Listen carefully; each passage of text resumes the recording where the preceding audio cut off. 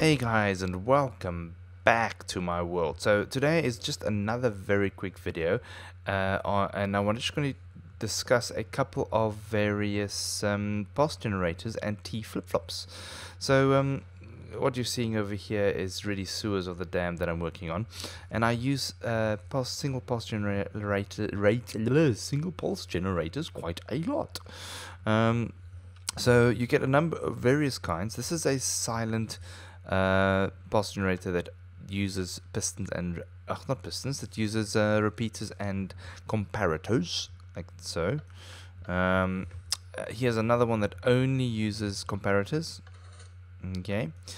Um, and then you get a non-silent one which uh, is basically uses a piston. So I'm gonna put show you very very quickly like so.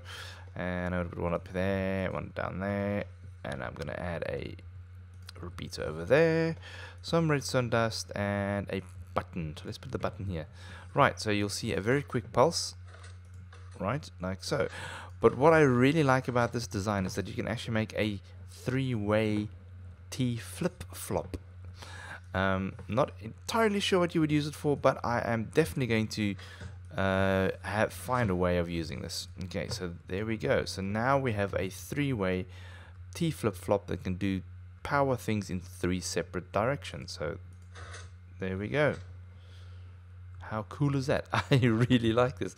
Just it just looks cool, I think. It just looks awesome. There we go.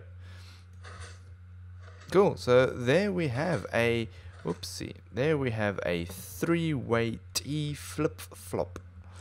Um, I'm sure we can find something to do with it. Yeah, we'll find something to do with it somewhere.